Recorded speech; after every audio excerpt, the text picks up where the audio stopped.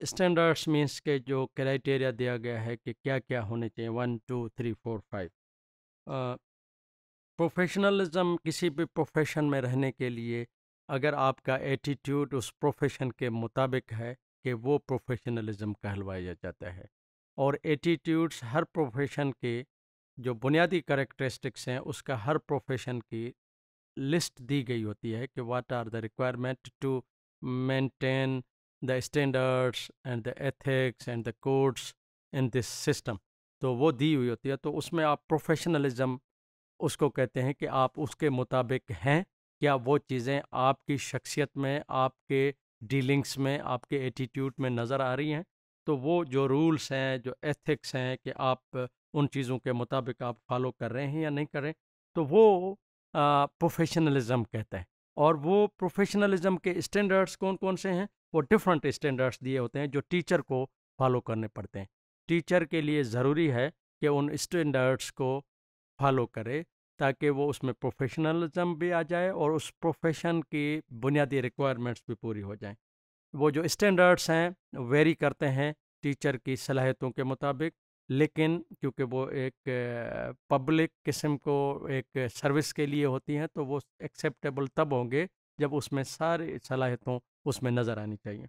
मसलन स्टैंडर्ड्स क्या है? The standards of practice for profession आप इस प्रोफेशन में रहने के लिए जब आप प्रैक्टिस करेंगे, उसमें आप काम करेंगे तो आपको क्या क्या करने चाहिए? Number one commitment to students and student learning आपकी कमिटमेंट होगी। आपके लिए ये तरजीह होगी कि स्टूडेंट्स की लर्निंग हो रही या नहीं हो रही है, और स्टूडेंट आपका it will be your preference कि students will be top priority and learning of the student will be your job your responsibilities you have to focus you have to manage you have to create such type of the situation that the students are learning students are taking interest into your dealings and your dispositions and your presentations ये आपकी commitment होगी professional knowledge एक होती है subject knowledge दूसरी होती है professional knowledge For example, ke I am teacher of mathematics. I am teacher of Pakistan studies. I am teacher of uh, English. I know how to teach. I know what is what are the tenses, what are the parts of the speech, uh, how to change active voice, a sentence from active voice to passive voice. This is my expertise of the subject, of the content. But how to teach parts of speech, how to make my teaching, learning process, teaching in the classroom effective, that is professional knowledge. Uh, उस वो तकाजाएँ होती हैं कि मिसा विकास कि in your class diversified level of the student different cultures from different background the students are sitting there तो आपकी प्रोफेशनल नॉलेज होगी कि स्टूडेंट लर्न कैसे करते हैं student with different competencies and different learning levels class में मौजूद हैं, उनको कैसे डील करना होता है। This is professional knowledge professional practice वक्त के साथ साथ आपको the one has to practice of that profession क्योंकि आपको डिफरेंट स्टूडेंट की लर्निंग को प्रमोट करने के लिए आपको डिफरेंट अप्रोचेज इस्तेमाल करने पड़ती हैं डिफरेंट टेक्निक इस्तेमाल करती हैं करनी पड़ती हैं। मसलन पेडोलॉजी है असेसमेंट है एवेल्यूशन है, आपके पास डिफरेंट रिसोर्सेज हैं, आपके पास टेक्नोलॉजी का यूज़ है। तो आपको वो प्रोफेशनल प्रैक्टिस होगी। प्रोफेशनल प्रैक्टिस ये है कि मुझे मिसाल कि मैंने स्टूडेंट्स की किस किस्म की सलाहियत करनी है कि स्टूडेंट में की मसलन लेवल्स जो होती हैं उसको आप जिसको कहते हैं डोमेन्स ऑफ़ लर्निंग कहते हैं कि आप कागनेटिव की चेक करनी है अफेक्टिव की चेक करनी है साइकोमोटर की चेक करनी है। ये आपको प्रोफेशनल प्रैक्टिस जब होगी, वहाँ से पता चलेगा कि मैं इनको वो ज़रूरी है कि प्रोफेशनल प्रैक्टिस की जाए ताकि स्टूडेंट के इश्यूज़ को कैसे रेज किया जाए, कैसे हैंडल किया जाए। Leadership in the learning communities. Her profession की, ये जहन में रहे कि हर प्रोफेशन की लर्निंग कम्युनिटीज़ होती हैं। लर्निंग कम्युनिटीज़ ये हैं कि मिसाल कि मेरा मेरी पसंद का सब्जेक्ट है टीचिंग ऑफ़ जनरल साइंस। तो मैं अपने स्कूल में, अपने शहर में, अपने गर्दो नवा में दूसरी जगह जहाँ मुझे एक्सेस हो सकता है कि वहाँ मेरे सब्जेक्ट के जो साथी हैं, उनके साथ मिलकर मैं एक कम्युनिटी बनाऊँ, जिसको लर्निंग कम्युनिटी कहते हैं। और वो आप उसमें एक्टिव रोल पैदा रोल आपको अदा करना पड़ेगा। Ongoing professional learning profession में रहने के लिए ये हमें जहन में रखना चाहिए कि वो कंटिन्यूस सिलसिला जारी है, कि आपको मुसलसल ट्रेनिंग करनी पड़ेगी। बिकॉज़ आपको डेवलप करने के लिए, डेवलप होने के लिए किसी न किसी काम में। किसी न किसी काम का मतलब ये है कि आप अपने प्रोफेशन के, आप अपने डेली जॉब जो एक्टिविटीज़ करते हैं, उसके लिए इंगेज होना पड़ेगा। उसके लिए सेल्फ स्टडी करनी पड़ेगी, उसकी तैयारी करनी पड़ेगी और देन परफॉर्म करना पड़ता है। एलिमेंट्स ऑफ़ द प्रोफेशनलिज्म क्या है? Initial professional education. आप उस प्रोफेशन में जाने के लिए बुनियादी अगर एजुकेशन है तो आप प्रोफेशन में जा सकते हैं, वरना नहीं जा सकते। नंबर टू एक्रीडिटेशन हर प्रोफेशन की अपनी अपने एक अलहदा बॉडीज़ हैं। जैसे पाकिस्तान मेडिकल डेंटल काउंसिल है इंजीनियरिंग काउंसिल है बार काउंसिल है एग्रीकल्चर काउंसिल है कंप्यूटिंग काउंसिल है। ये गवर्नमेंट की तरफ़ से ऐसे इदारे बनाए जाते हैं तो उस प्रोफेशन को चेक करते रहते हैं कि उसके जो वक्त के तकाजे के मुताबिक उसमें वो सलाहियतें, जो लोग काम कर रहे हैं, उसमें वो सलाहियतें हैं या नहीं हैं।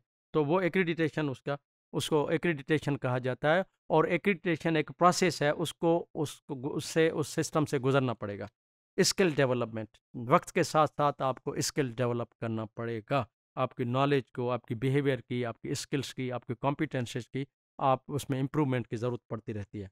सर्टिफिकेशन सर्टिफिकेशन का मतलब ये है कि आप उस काम करने के लिए आपके पास एक तो है प्रोफेशन में एंट्री होने की क्वालिफिकेशन उसके बाद सर्टिफिकेशन के आप, मिसालन आप पढ़ा रहे हैं Pakistan studies social studies general science तो आप टीचिंग ऑफ़ जनरल साइंस के मुख्तलिफ़ कोर्सेज और मॉड्यूल आप वक्त के साथ साथ करने पड़ते हैं, उसको सर्टिफिकेशन करते हैं।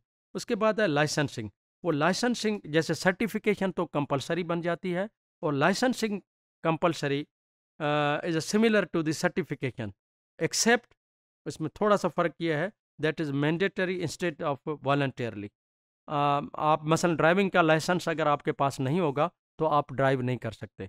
और सर्टिफिकेशन मसलन मैं चाहता हूँ कि मेरे फर्दर एडवांस कोर्स किया गया हो। इंग्लिश का मैं टीचर हूँ तो एडवांस लेवल का मेरे कोर्सेज किए हुए हों। तो उसके लिए मुझे ज़रूरी है कि मैं उसके लिए सर्टिफिकेशन मेरे मे, मेरे लिए है। ज़रूरी का मतलब क्या यह है कि मैं समझूं कि मुझे प्रोमोट होना है। लेकिन सर्टिफिकेशन में अपने आप की इम्प्रूवमेंट करता हूँ। लाइसेंसिंग वो इदारा कराता है कि जी, आप मसलन लाइसेंस पुलिस ट्रैफ़िक वाले आपको लाइसेंस चेक करते हैं कि आपको लाइसेंस है या नहीं ड्राइव करने के लिए। तो आप ड्राइविंग में आपके पास कितना बड़ा स्किल है, वो आपकी अपनी सलाहियत है। लेकिन बुनियादी स्किल्स के लिए लाइसेंस ज़रूरी है। प्रोफेशनल डेवलपमेंट प्रोफेशन के रिक्वायरमेंट जितने भी तकाजे होते हैं, जितने भी प्री रिक्विजिट्स होते हैं, जितने भी जो सिलसिले के साथ चलने वाली जो चीज़ें हैं, वो आपको करनी पड़ेंगी। प्रोफेशनल डेवलपमेंट करनी पड़ेगी। आपकी कंटेंट में नॉलेज कितनी है, आप कंटेंट नॉलेज कितनी है, पेडागोजिकल नॉलेज कितनी है, टेक्नोलॉजिकल नॉलेज कितनी है एवोल्यूशन की नॉलेज कितनी है, स्टूडेंट्स के इश्यूज़ की नॉलेज कितनी है, वो आपको अपने प्रोफेशनल डेवलपमेंट करनी पड़ेगी। प्रोफेशनल सोसाइटीज़, जैसे लर्निंग कम्युनिटीज़ हमने कहा, लर्निंग कम्युनिटीज़ तो आप एक हम असर लोगों से मिलकर बनाते हैं। प्रोफेशनल सोसाइटीज़ में आपसे सीनियर भी होते हैं आपसे जूनियर भी होते हैं, आपके हम असर भी होते हैं, वो प्रोफेशन को गाइड करते रहते हैं मसलन सोशल स्टडीज़ के टीचर की एसोसिएशन। फिलोसफी ऑफ़ एजुकेशन के टीचर की एसोसिएशन, करिकुलम डेवलपमेंट के टीचर की एसोसिएशन, वो टीचर ट्रेनिंग की एसोसिएशन, वो आपको रहनमाई देते रहते हैं, जो एक वॉल्टियरली इदारों का होता है, कुछ कुछ लोग मिलके ऐसी सोसाइटीज़ बनाते हैं। Code of ethics.